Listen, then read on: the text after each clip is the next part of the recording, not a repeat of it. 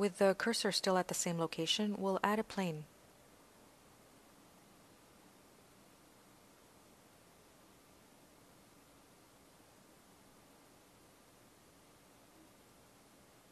Adding spans to shape this one ponytail strand.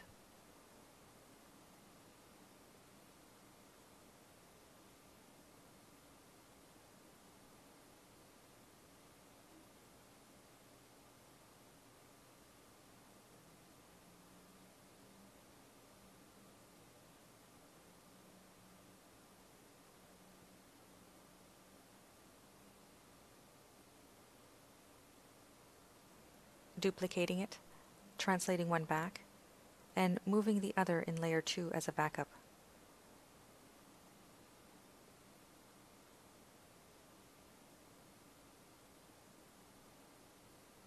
In edit mode, translate to the side. In object mode, duplicate and rotate, creating more strands.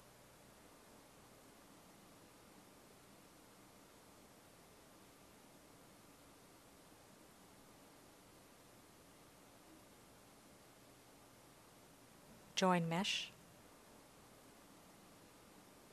Selecting individual strands using L to select Linked, and Shape using the reference image as a guide.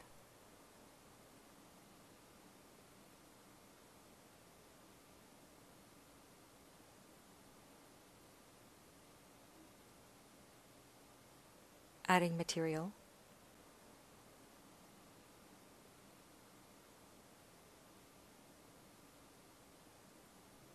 Modifying the shape to find the right silhouette.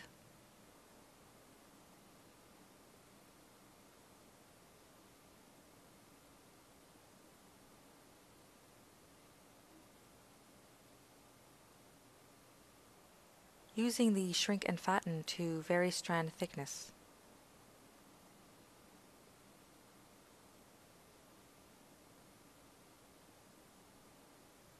And just as we did for the hairline, hiding the top connecting part so it's not affected during the proportional editing, using Alt-O for proportionals connected mode.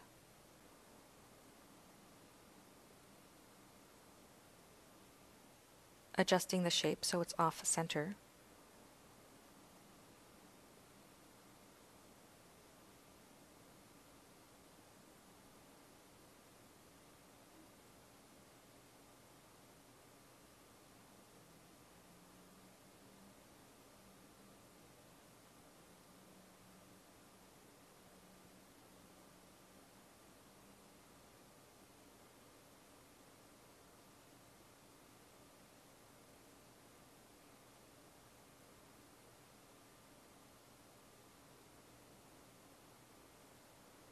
Readjusting the shape for the hair tie.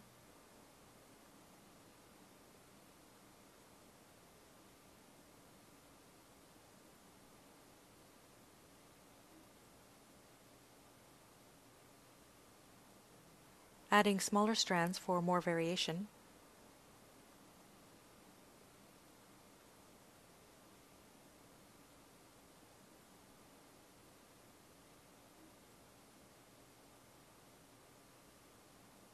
And continuing to add various sized strands.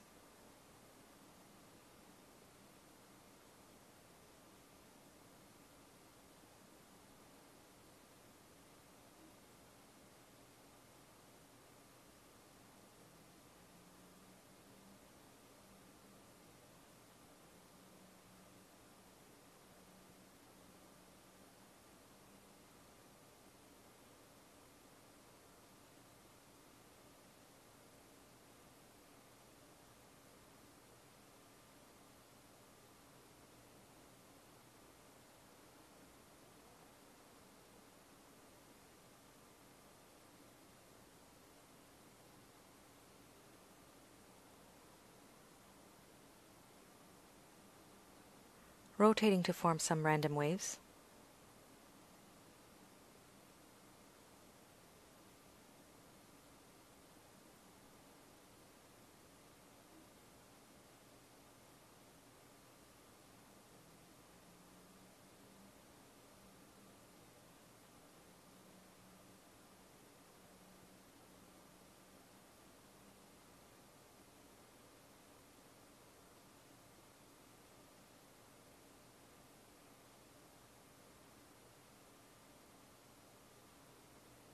Adjusting the ponytail height to find the right silhouette.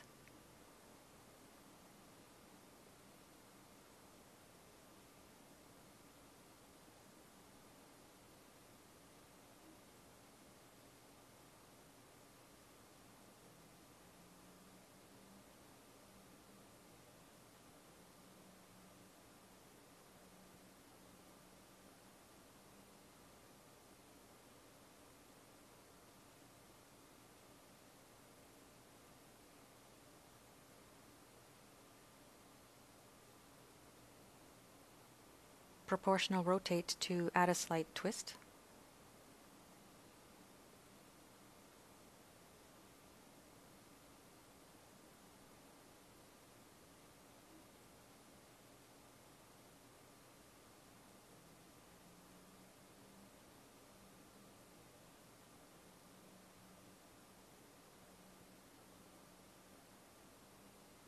and applying transform values. Next, we'll add depth and dimension to the hair base using overlay pieces.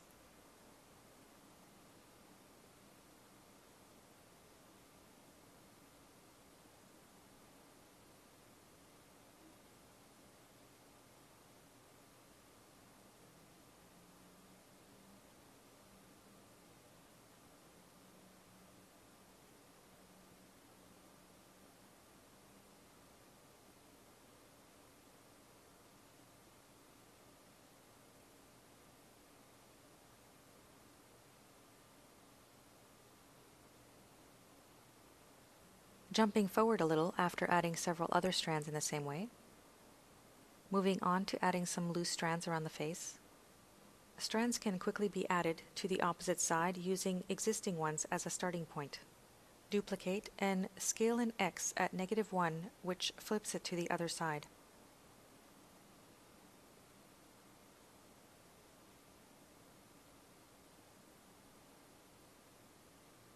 Toggling the pivot to vary length and wave.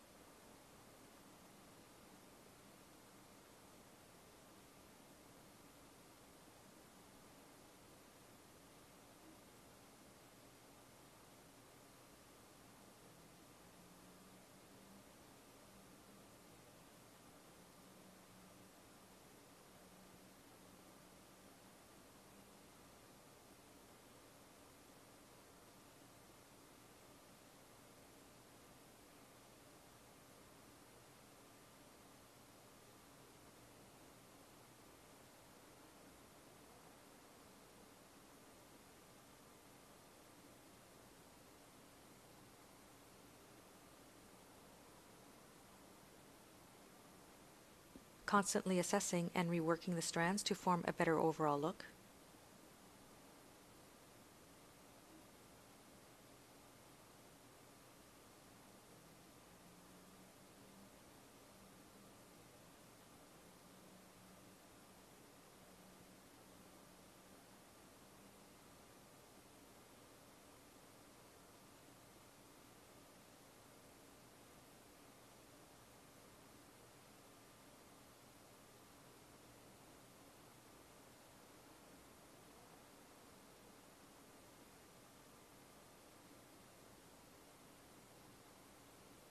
Joining these strands into one mesh,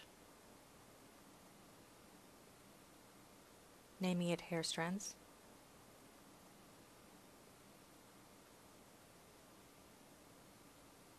and renaming the eyelashes.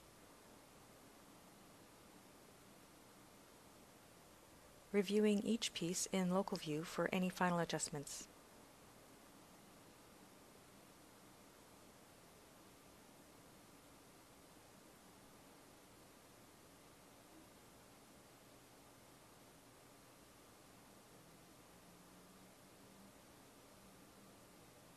And cleaning out the materials.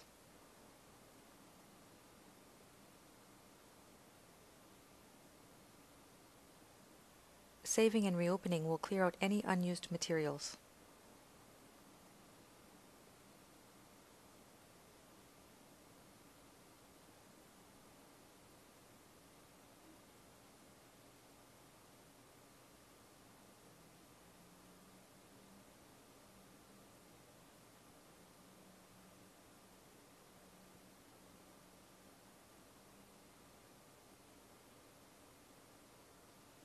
We'll rename this material base color and add it to the hair.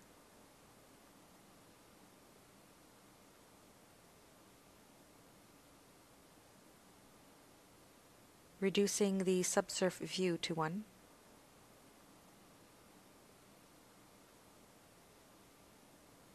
Deleting mask modifier.